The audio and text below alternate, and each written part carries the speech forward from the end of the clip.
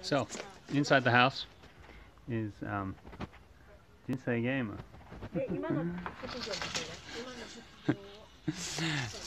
and outside in the garden, um, moving concrete still.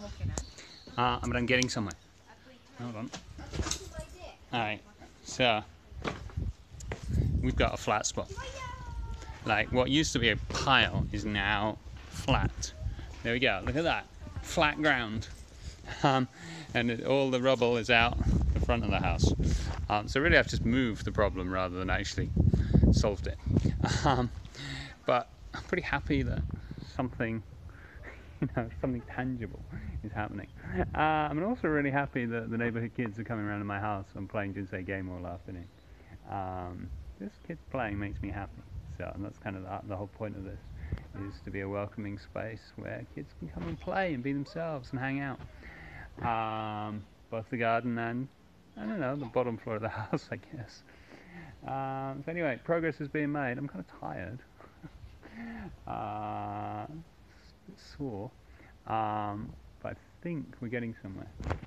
Um, and the next plan. Now I've kind of made a flat bit, and I sort of got a better idea of what I'm trying to accomplish. I don't really know what I'm doing. I'm making this up as I go along, and so um, I'm now thinking for this pile that I'm now standing on. Uh, I'm starting to wonder if rather than dragging it all outside to the front and then carting it off to the dump, I might want to kind of remove the big blocks, but I've got a kind of mess here.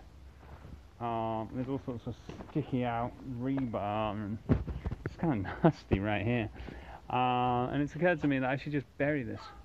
Uh, it'll be uh, an investment for future archaeologists, because of course my original undergraduate degree was archaeology, and um, it will kind of solve two problems at once. One bird with a thousand stones, which is that we could just kind of bury this. And I'm thinking about kind of piling it up because um, I quite like some kind of water feature where sort of water trickles down and that involves a hill of some kind. So, um, progress is being made. I'm kind of happy about it.